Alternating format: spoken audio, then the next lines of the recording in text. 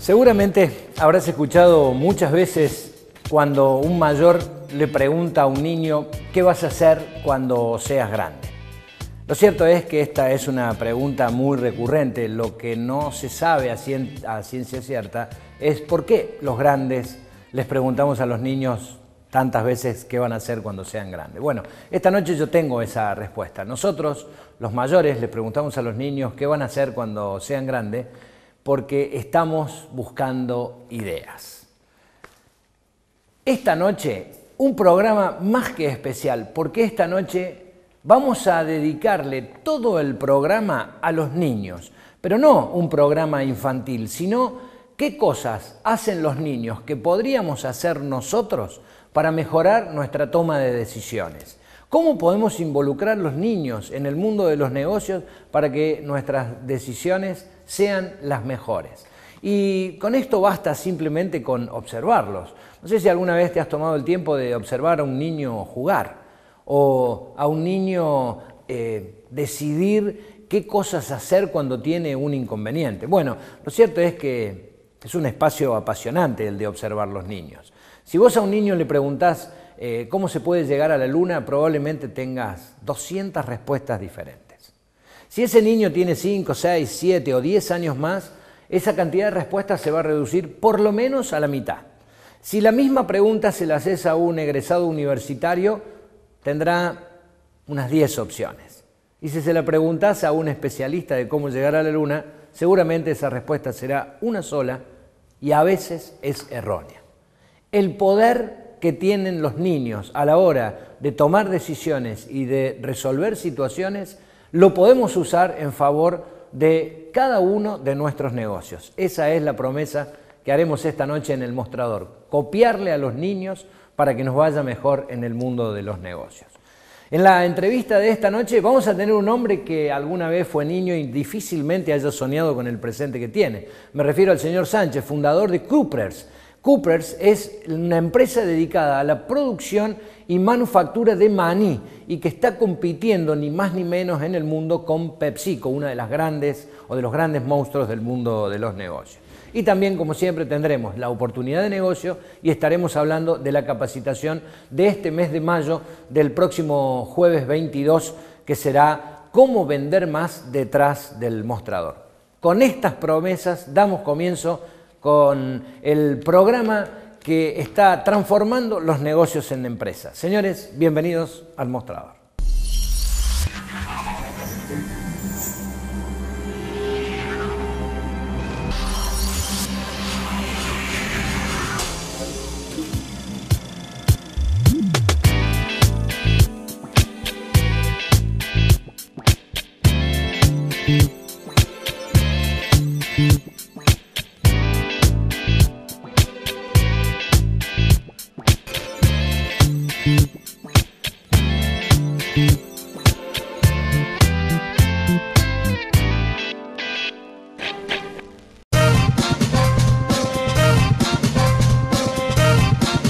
En autos, pensás en Maipú. Córdoba limpia, limpia Cotreco. Córdoba limpia, limpia Cotreco.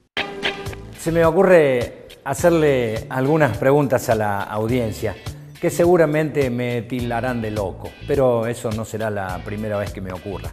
¿Alguna vez eh, te imaginaste hablando con una caja de cartón? ¿O alguna vez ¿Te imaginaste creando un amigo imaginario e invisible?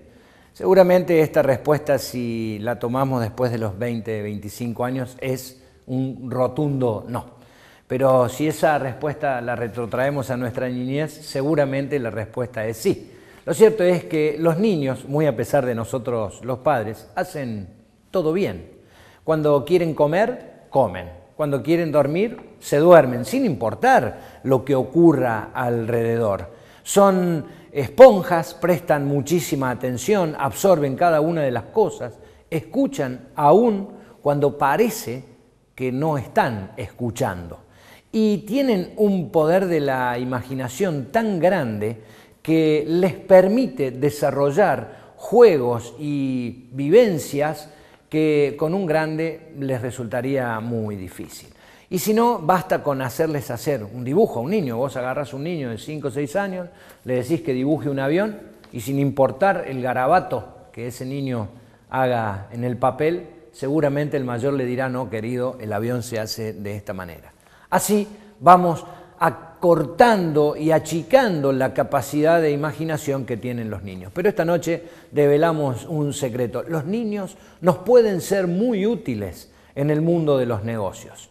Los niños pueden ser los grandes desarrolladores de nuestras estrategias, de nuestras posibilidades y de nuestros inventos dentro de los negocios. Preguntémosle a los niños si tenemos algún problema, cómo lo resolverían, cuál es el enfoque que le darían, qué cosas podemos hacer para vender más en nuestros negocios y les aseguro que se van a sorprender, porque los grandes también en pos de transformar un negocio en una empresa, no solo debemos imitar a los niños, sino que a veces tenemos que recordar qué y cómo éramos cuando nosotros éramos niños. De esa manera vamos a estar teniendo algunas posibilidades, más aún de las que tenemos, para transformar nuestros negocios en empresas. A prestarle muchísima atención a los niños porque tal vez ahí tengamos la clave del éxito de nuestros negocios. Y hablando de la clave del éxito, ya fue un boom el miércoles pasado cuando dijimos que vos podías transformar 4.200 pesos en 5 o 6 mil dólares en 30 días. Esta es una realidad, es una empresa que te está brindando la oportunidad de sumarte a ese negocio y de que vos, trabajando desde tu casa y sin dejar eh, el actual oficio o el, actual negocio que tengas, puedas ganar dinero casi te diría fácilmente. Si bien ese no es el camino, no es fácilmente, hay que trabajar, hay que aplicar técnicas, pero es viable, es real.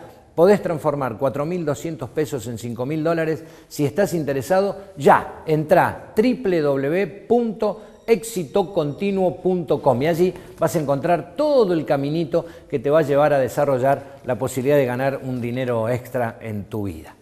Bueno, seguimos brindando, como siempre, buenos negocios, al menos ese es el compromiso, de que tengan diferentes alternativas los televidentes no solo de aprender, sino también de hacer buenos y nuevos negocios.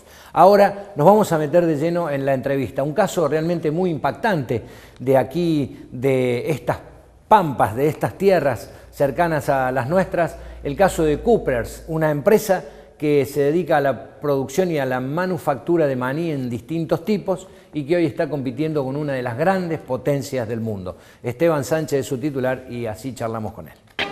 Invertir en nuestros emprendimientos es creer en el futuro. Artemisa, www.artemisaonline.com.ar. Momento de la entrevista en el mostrador, por supuesto siempre presentados y acompañados, muy bien acompañados por Priti. Eh, esta noche tenemos la presencia del presidente de Kruppers, eh, una empresa dedicada a la manufactura de maní y que aparentemente está ya empezando a competir con las grandes multinacionales de ese tipo de productos. Esteban Sánchez, buenas noches y gracias por estar en el mostrador. Buenas noches, muchas gracias por la invitación. Una pequeña corrección, es Croppers. Croppers. Es una O y dos P. Bien, y seguiré repitiéndolo mal durante todo, el, se me grabó Croppers. Croppers. Croppers. Perfecto. Eh, ¿Cómo nació la idea de meterse en ese negocio y transformarlo en algo tan competitivo? Bueno, nosotros somos un grupo de tres amigos básicamente que empezamos con esto. Nosotros venimos a trabajar en grandes empresas eh, y nos independizamos por este, por este proyecto. Nosotros eh, en el año 2007 surgió la oportunidad, lo analizamos, vimos que, mm, bueno, que había en el producto había un gran potencial, la empresa tenía un poco de, falta de gestión y, tenía deficiencias en varios aspectos y estaba como, como muy caída. Nosotros analizamos que podríamos eh, en poco tiempo llevar la empresa a, la totalidad de la Argentina, nacionalizar la marca. Teníamos que dar determinados pasos, eh, así que armamos un plan de negocios, evaluamos bien el, proyecto y bueno, negociamos la compra de la empresa. En ese momento teníamos muy poco dinero nosotros. Eh, Así que la negociación principalmente se basó en, tratar de pagar eh, el costo de la empresa a plazo y apostar a que el crecimiento de la empresa genere, genere el pago de lo que estábamos comprando y gracias a Dios las cosas salieron bien. Eh, estaba pensando cuando decías este, compramos una empresa sin plata. Eh, ¿Con qué se paga cuando uno tiene la oportunidad de un negocio pero no dispone de los fondos? ¿Se paga con promesa? ¿Cómo es una negociación de algo que vos querés pero no tenés cómo pagarlo si tuvieras que pagarlo medianamente rápido, digamos? Sí, yo creo que cada, situación es diferente y cada decisión es distinta. Eh, en nuestro caso, nosotros estábamos muy confiados en la gestión que podíamos ponerle a la empresa y que eso iba a generar los resultados suficientes para después poder poder hacer el pago. Pero en líneas generales, cuando uno tiene que asumir una compra como esta y no tiene dinero, y uno apuesta en la capacidad que tiene uno y es principalmente la gestión, digamos. Así mm. que creo que ese, en nuestro caso, fue el valor agregado más importante.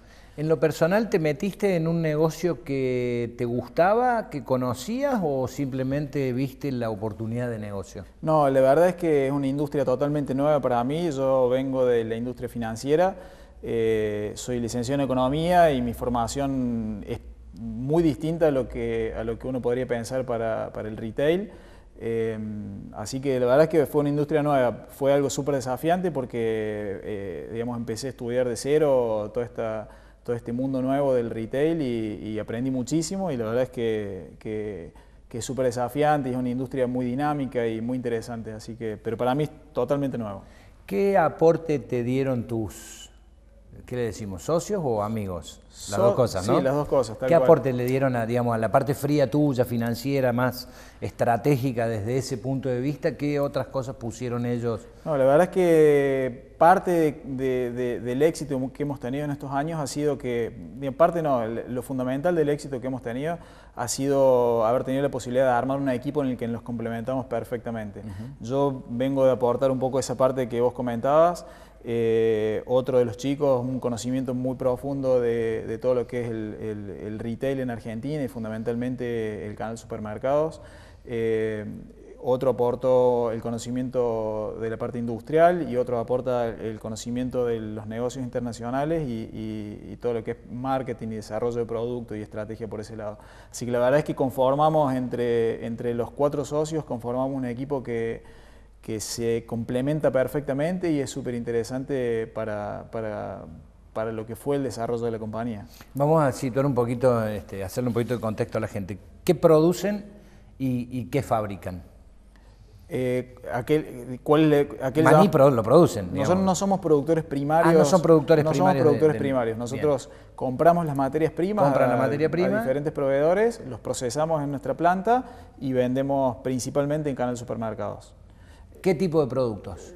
Croppers nace, cuando nosotros compramos la empresa, la empresa hacía solamente maní. Nosotros la transformamos en una empresa de snacks naturales. Fuimos hacia la categoría de, frutos secos, mix de frutos secos, eh, que son snacks naturales, siempre con una orientación de, tener un producto natural y de alta calidad, de, buen valor agregado. Y hace un año y medio más o menos empezamos a incursionar en una categoría, una categoría nueva que es la de cereales, bajo la marca Go Natural. Eh, que está respondiendo realmente muy bien y, en poco tiempo vamos a tener eh, nuevos desarrollos con esa marca también y en esa categoría. Nosotros este, en, el programa de esta noche estamos hablando un poco de, cuánto deberíamos imitar a los niños para ser más creativos, más osados, tener más posibilidades de imaginar el futuro este, en el mundo de los negocios. ¿Cuánto de niño hay entre los socios para hacer este tipo de locuras? y de, embarcarse en, un negocio donde hay mucha competencia y muy fuerte? Eh, yo creo que hay, bastante de niños eh, en la ingenuidad que tuvimos inicialmente para embarcarnos en este proyecto. Nosotros nos metimos en, una industria donde hay grandes jugadores, eh, una industria muy competitiva y donde quizás las barreras de entrada son muy grandes justamente por los intereses que hay en juego tuvimos mucha ingenuidad en, confiar en nuestra capacidad y que realmente íbamos a ser eh, buenos haciendo lo que teníamos que hacer. Y en eso creo que fuimos, que fuimos bastante niños, digamos. Eh, una característica que personal, yo tengo chicos chicos y una característica importante me parece de los niños es la creatividad que tienen. Tienen capacidad de abstracción importante para imaginarse juegos y demás. Y, en eso creo que también hemos sido buenos, digamos, en, tener mucha creatividad a la hora de pensar en desarrollo de productos y, en pensar eh, cosas hacia adelante. Me parece que en eso también hemos tenido eh, algo de niños. Cuando vos y tus amigos decidieron comprar la empresa en aquel momento? ¿Cuántos de los que tuvieron alrededor les dijeron que estaban locos? La verdad es que bastantes. Eh, tuvimos un público bastante dividido. Muchos dijeron, están locos. Eh, en mi caso puntual, yo vengo de una familia donde, mis padres son académicos, no son empresarios. Entonces para ellos es un mundo, es un mundo extraño, digamos. Eh, siempre confiaron y, me apoyaron en todo esto, así que la verdad que yo les estoy muy agradecido, pero siempre con un signo de pregunta al último, a ver en qué va a derivar todo esto. La verdad es que hubo gente que, nos apoyó mucho y hubo gente que, nos dijo que estábamos totalmente locos, pero en definitiva siempre, siempre con un apoyo por detrás. Están locos, pero, pero... Te acompañamos. Te acompañamos, tal cual. Bueno, vamos a hacer una pequeña pausa y en el próximo bloque vamos a seguir descubriendo este fantástico mundo de los negocios. La voz del interior. Sheraton Córdoba Hotel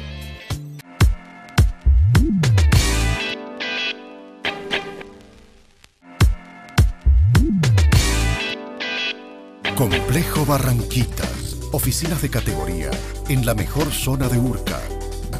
Complejo Barranquitas. Roque Funes y la marca.